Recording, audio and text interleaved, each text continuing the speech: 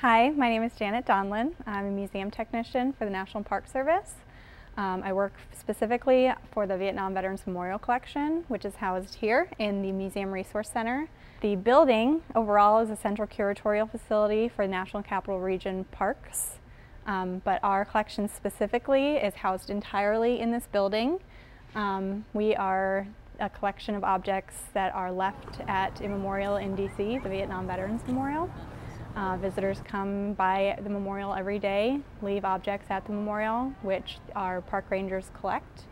Um, and then every two weeks or so, we do a pickup at the, at the memorial. We bring them out here to our Museum Resource Center, where we sort through them and um, catalog them and make them part of our collection. So this card was left in 2000. Um, it was left by Ellen for Barry, Barry Bausch, who was killed in Vietnam. Um, I'm just going to read it. It says, My dearest Barry, it's been over 31 years since you were taken away from me, but you remain in my heart, my truest love always. As I visit the memorial wall today in Washington, D.C., I leave with you the ring I gave you on your 18th birthday, the first summer we met. Always know that I love you still, although I'm married and have three beautiful children Laura, named after your sister, Blake, and Raina. I will mourn for the family we were never given the chance to have. When the Lord takes me home, I know I'll meet you again and share many memories.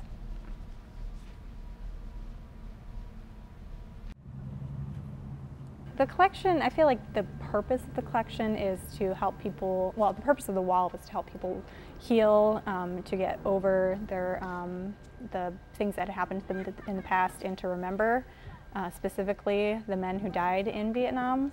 And this collection kind of lends uh, a helping hand to that. People will leave things um, that are kind of folk art that will it, just make the process of making a craft helps them heal.